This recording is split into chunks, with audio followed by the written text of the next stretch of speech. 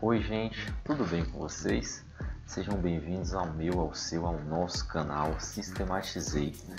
E hoje o nosso tema é: adianta saber programar e não conhecer o banco de dados do Proteus? No decorrer desse vídeo, nós vamos tocar em alguns assuntos relativos a DVPL, banco de dados e Proteus, a fim de que isso fique esclarecido para vocês, a relação que existe entre programação e banco de dados e, claro, que vocês tirem as suas próprias conclusões, se vale a pena saber programar sem conhecer o banco de dados do Proteus. Para quem não me conhece, meu nome é Adilton Plácido Júnior, sou consultor Proteus, cientista da computação e também sou especialista em bancos de dados. Clique em gostei, dê um like, compartilhe esse vídeo com seus amigos, colegas, isso é muito importante. Então, vamos lá. Antes de tudo, eu vou começar explicando para vocês o que é Enterprise Resource Planning, um ERP. Um ERP um sistema no modelo de ERP é aquele software que rege a empresa a começar pela gestão de relacionamento de cliente, gerenciamento financeiro, gestão de estoque, planejamento e controle de produção e também a parte de RH. Esses cinco pilares básicos aí, claro que existem diversas outras definições, eu trouxe essa aqui para que vocês compreendam. Esses pilares regem um sistema no modelo, no formato ERP. E quando nós falamos em Proteus, é um software que possui diversos módulos, diversos subsistemas comercial, faturamento, notas fiscais, financeiro, estoque, recursos humanos, compras, entre outros. E esses pilares, pessoal, eles fazem um relacionamento, eles se conectam a fim de que a empresa funcione com excelência e possua dentro de um único software o controle de demais áreas que regem a companhia. E quando falamos em Advanced Procedure Language, falamos do ADVPL, a linguagem de programação que é responsável pela manipulação dos fontes do Proteus, sejam customizações em telas, relatórios, pontos de entrada, enfim. Aqui tem um exemplo básico de um fonte ADVPL para somar duas variáveis. Já nesse outro exemplo, nós utilizamos um comando bem conhecido no meio dos analistas e consultores, que é o famoso posicione. Aqui ele vai até a SA1 e busca o nome do cliente. Mas espera aí, SA1? Você sabe o que é SA1? Você sabe o que é essa tabela? É a tabela responsável por armazenar os dados dos clientes que a empresa possui. Então, esse comando ele simplesmente traz o nome do cliente por referência de um outro campo ligado ao índice. Nesse fonte nós já vimos a real necessidade de conhecer o banco de dados do Proteus para saber programar direitinho e manipulá-lo da melhor forma. Aqui nós já estamos falando da SQL, Structured Query Language, e o que é o SQL? São comandos que são capazes de manipular, selecionar, inserir dados dentro do SGBD. Aqui um comando básico para listar todos os clientes que a empresa possui, ou seja, na tabela SA1. Já esse outro comando, nós fazemos a mesma coisa na tabela SB1. E o que é SB1? SB1 é a tabela responsável por armazenar os dados dos produtos cadastrados. Aqui nós trazemos um comando mais complicadinho.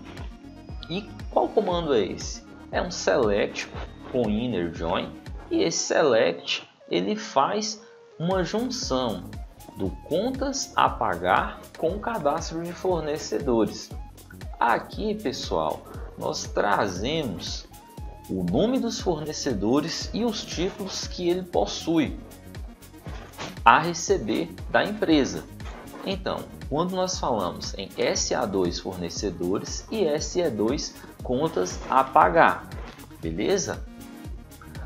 Agora, mais a fundo, eu trago uma junção de programação com bancos de dados. Nesse fonte, eu listo o contas a receber, ou seja, tudo que a empresa tem a receber dos clientes. E aqui eu trago o nome do cliente e o que ele deve. Por exemplo, Eduardo Campos deve 150 reais. De onde o sistema busca Eduardo Campos? Do campo A1 nome. E de onde ele busca esse valor de 150? Do campo E1 valor. Então, estão conseguindo enxergar a real necessidade de conhecer o banco de dados? Vou mostrar mais uma coisa. Aqui eu já trago um outro comando que já busca o contas a pagar, tudo que a empresa tem de débito a pagar com seus fornecedores. E eu trago aqui o nome do fornecedor e o valor. O fornecedor ele vem da SA2, ao contrário do cliente que vem do SA1. E o E2 valor, que é o contas a pagar, vem da SE2, ao contrário do contas a receber, que vem da SE1. Espero que vocês estejam gostando. Esse outro fonte em ADVPL, eu trago uma parte aqui que ele busca dentro do banco de dados o cadastro de cliente através dos parâmetros. Aqui é um relatório no formato T-Report. Ele traz aqui a relação de todos os clientes que existem dentro da empresa.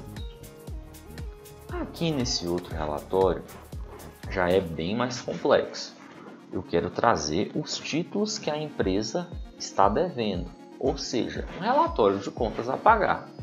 Aí eu venho, monto meu select aqui com a minha SA2 de fornecedores e a minha SA2 de contas a pagar. Tá conseguindo entender que você tem que saber banco de dados, que você tem que saber quais são as tabelas, que você tem que conhecer o banco de dados do Proteus e como ele funciona. O que, que é esse campo delete? Por que na SE2 tem um delete, na SA2 tem um delete? Vocês vão conhecer isso ao longo dos nossos vídeos e com uma mega novidade que eu vou falar para vocês. Aqui já trago o relatório propriamente dito e esse relatório ele traz o contas a pagar da empresa, os títulos agrupados aqui. Agora, eu vou mostrar uma coisa para vocês. O que acontece quando uma empresa compra algum produto? Ou seja, a empresa que possui o Proteus instalado, ela compra um produto. Obviamente, ela vai pagar por esse produto, depois vai ser emitida uma nota fiscal de entrada.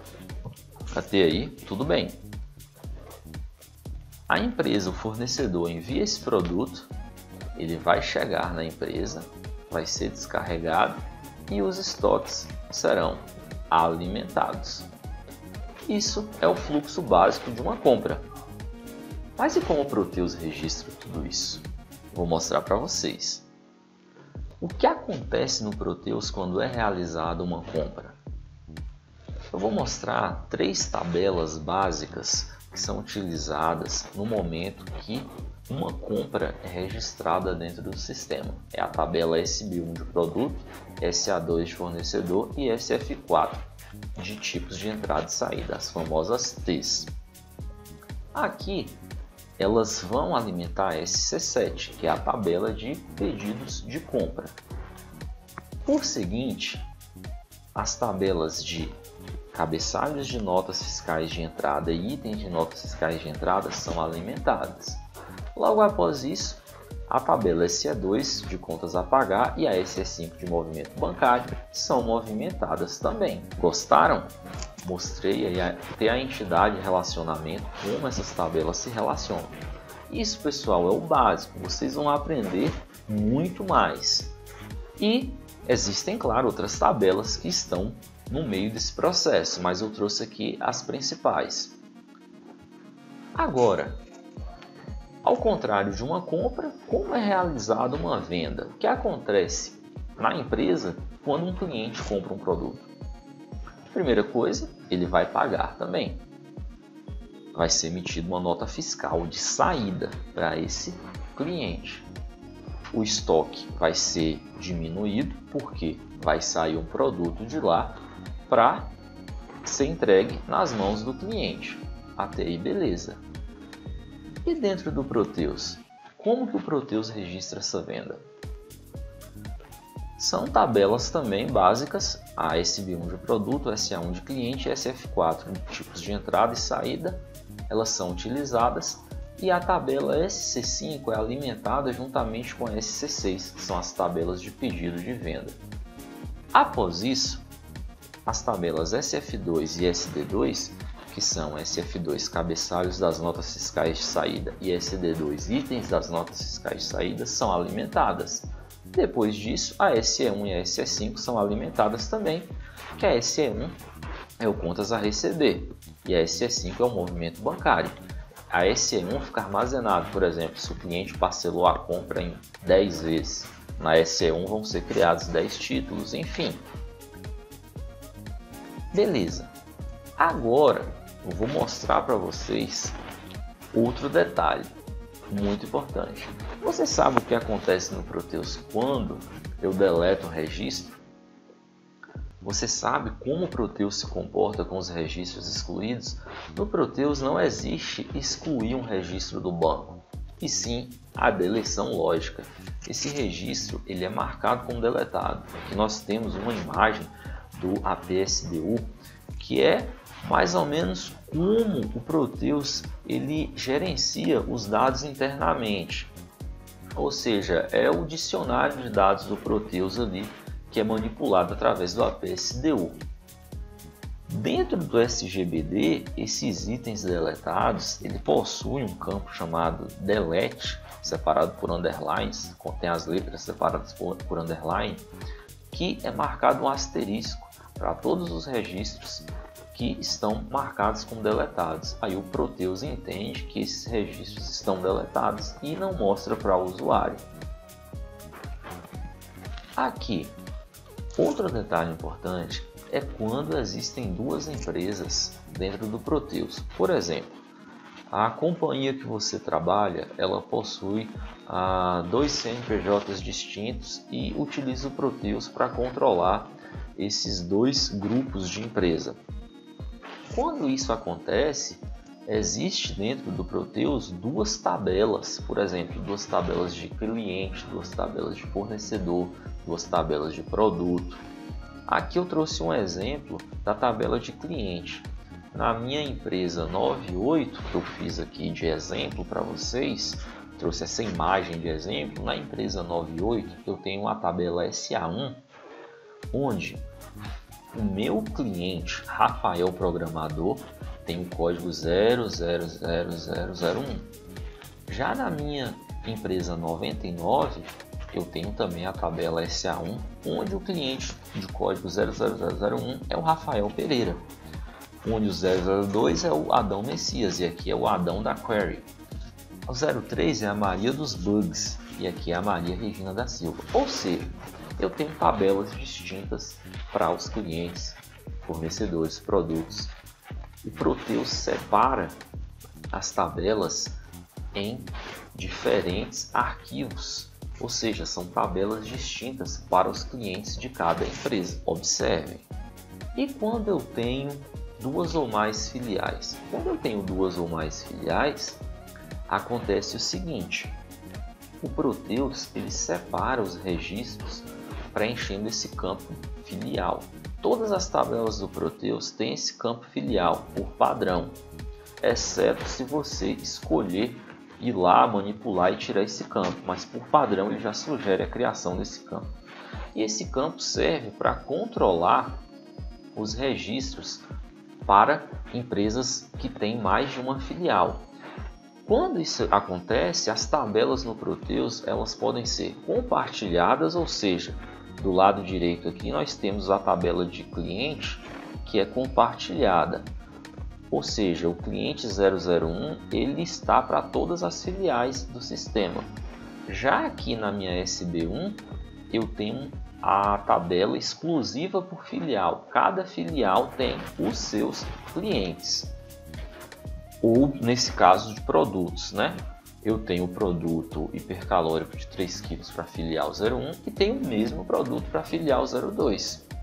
os produtos eles são cadastrados mais de uma vez para todas as filiais. Pegou o raciocínio? Então, conclui-se que adianta saber programar e não conhecer o banco de dados do Proteus? Meio que fica sem lógica, porque você precisa conhecer o banco para poder desenvolver os seus códigos perfeitamente e poder trabalhar com Proteus com excelência.